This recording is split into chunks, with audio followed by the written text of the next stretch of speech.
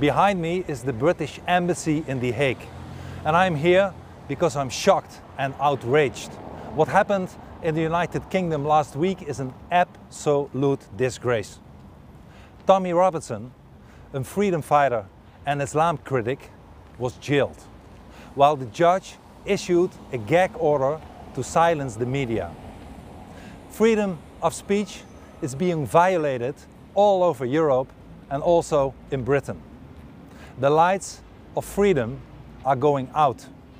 Islam critics are taken to court, jailed or targeted with fatwas and the authorities try to silence us. However, Islamists are pampered, protected, defended and that is totally unacceptable.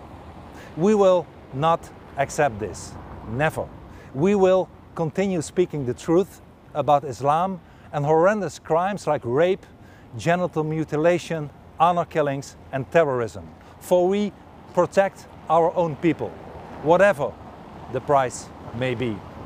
And that is why I stand here in solidarity with Tommy Robinson. Britain used to be a bastion of freedom of speech.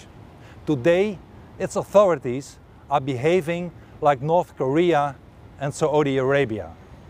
I'm here on behalf of millions in the Netherlands, in Europe, and also in Britain. And in their name, I say we will no longer be silent.